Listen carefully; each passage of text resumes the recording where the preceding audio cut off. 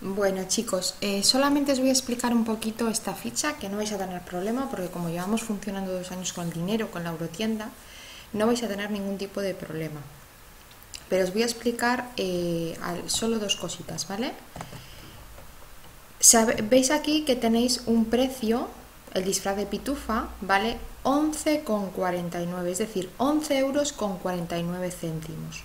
Lo que quiero que os fijéis es que lo que está antes de la coma, de la coma hacia la izquierda, son los euros y lo que está después son los céntimos, ¿vale?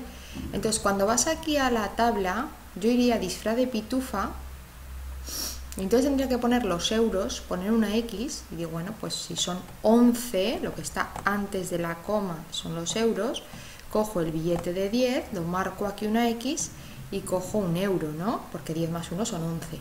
Y después los céntimos, esos 49, cojo de aquí céntimos. ¿Veis que están aquí las comas? ¿Vale? Entonces todo lo que está después de la coma lo tienes que marcar aquí también después de la coma, en los céntimos. Pondría aquí 2x, 2 de 20, ¿no? 20 y 20, 40. Luego puedo coger una de 5. Después puedo coger hago aquí 2x, 2 de 2 ya, y ya lo tengo, ¿vale?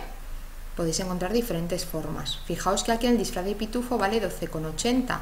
Antes de la coma son los euros. Entonces aquí puedo marcar un billete de 10 y una moneda de 2. O también podría elegir la opción de poner 2x en la moneda de un euro, ¿verdad? Porque 1 y 1 hacen 2.